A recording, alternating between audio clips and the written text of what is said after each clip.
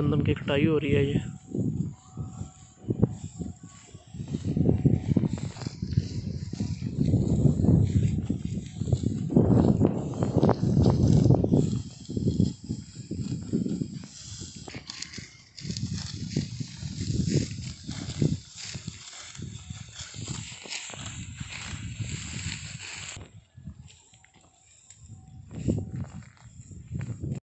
दोस्तों, आप सामने आप देख सकते हैं कि थ्रेशर लगी हुई है।